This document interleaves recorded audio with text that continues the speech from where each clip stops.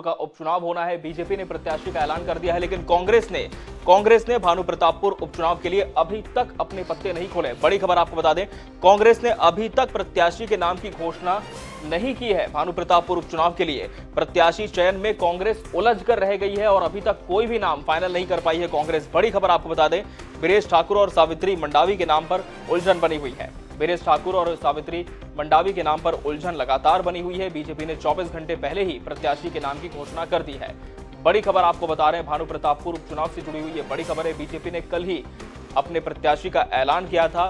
ब्रह्मानंद नेताम को भानु प्रतापपुर उपचुनाव में प्रत्याशी के तौर पर बीजेपी ने उतार दिया है, लेकिन कांग्रेस में अभी तक ऊहापोह की स्थिति बनी हुई है।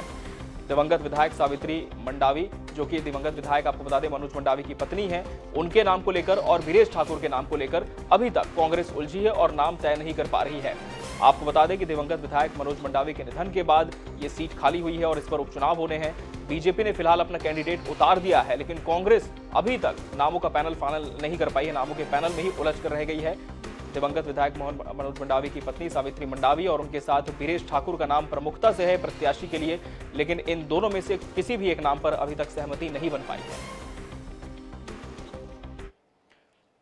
और हमारे विशेष संवाददाता गौरव शर्मा हमारे साथ इस खबर पर जुड़ चुके हैं। गौरव, निश्चित तौर पर कल बीजेपी ने अपने प्रत्याशी के नाम की घोषणा कर दी, लेकिन कांग्रेस के सामने अभी तक उलझन की स्थिति दिखाई दे रही है। क्या यह माना जाए कि आज या फिर कल में प्रत्याशी के नाम का ऐलान कांग्रेस कर सकती है?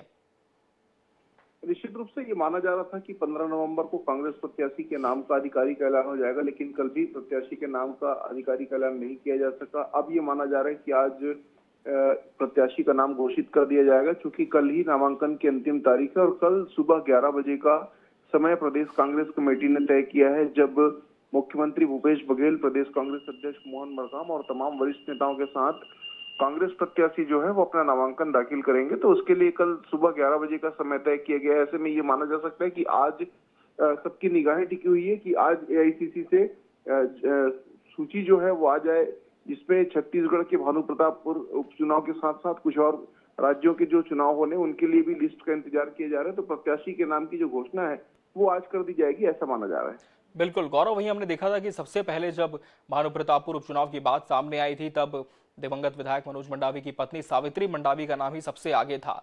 लेकिन इसके बाद जब बीते दिनों राजीव भवन में चुनाव समिति की बैठक हुई, एकाएक तेरह दावेदार सामने आ गए और अब बीरेश ठाकुर को लेकर भी पेच फंसा हुआ है। तो किस तरह से ये पूरी स्थिति निर्मित हुई? अनिश्चित रूप से तेरह दावेदार जो हैं वो सामने आए थे और इसके बाद में एक कहीं ना कहीं स्थानीय जो नेताओं, नेता थे, उनका ये दबाव था कि पार्टी कार्यकर्ताओं को ही महत्व दिया जाए, पार्टी के जो समर्पित कार्यकर्ता उन्हें टिकट दिया जाए, चुनाव लड़ाया जाए। लेकिन इसके बाद में पार्टी ने सर्वे भी कराया था उस सर्वे में तीन से चार नाम जो है, उन्हें गंभीर दावेदार माना गया था और उनके नाम पर प्रदेश चुनाव समिति ने दूसरी बार बैठक में चर्चा की। इसके बाद में नाम जो तय करके भेजे गए थे एआईसीसी को उनमें बीरेश ठाकुर का नाम प्रमुखता से शामिल था और अब जो है वो उलझन कहीं ना कहीं बढ़ती नज़र आ रही है। हालाँकि ये देखना दिलचस्प होगा कि किसका नाम तय होता है। अब तक ये हम्म। माना जा रहा है कि सावित्री मंडावी जो दिवंगत विधायक मनोज मंडावी की पत्नी है उनके नाम पर मुहर लग गई है और इसकी आधिकारिक घोषणा ही बाकी है जी। बिल्कुल इसका आधिकारिक ऐलान कब तक होता है इस पर सभी की निगाहें टिकी हुई है। बहुत शुक्रिया गौरव इस पर आगे भी आपसे अपडेट लेंगे। और इस बीच